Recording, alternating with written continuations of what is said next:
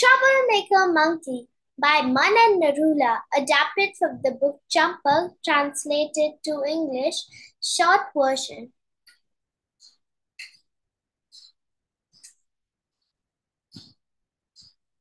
Near the lake lived a naughty, mischievous, clever monkey named Coco, sitting on the highest branch of the tree.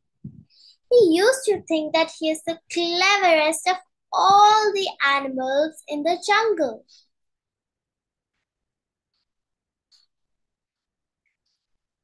One day, Rocky the dog and Polly the rabbit were strolling in the garden. It was just the day before Holi.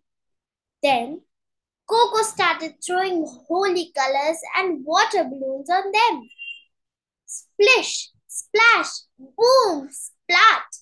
In no time, Rocky and Polly were drowned in Holi colors red, green, yellow, and orange. Then they thought to check Coco. Next day, Coco got a message on his phone that there is a lake near the mountain. Whosoever takes a dip, whosoever takes a dip in the lake will get gold coins. Coco was thrilled and excited about the gold coins.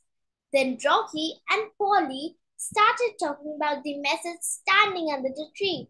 After hearing their conversation, Coco believed that the message was true and said, Now I'm going to be the richest of all.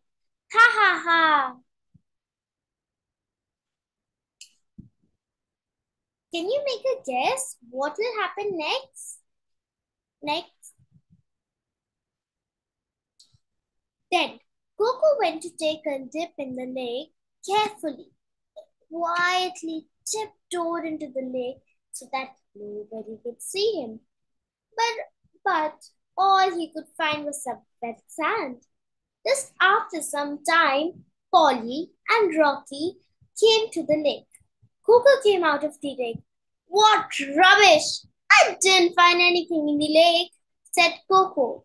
Soon he realized that the lake was full of Holi colors.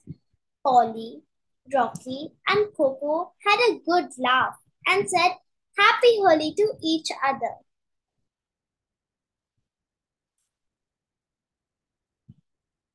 Thank you.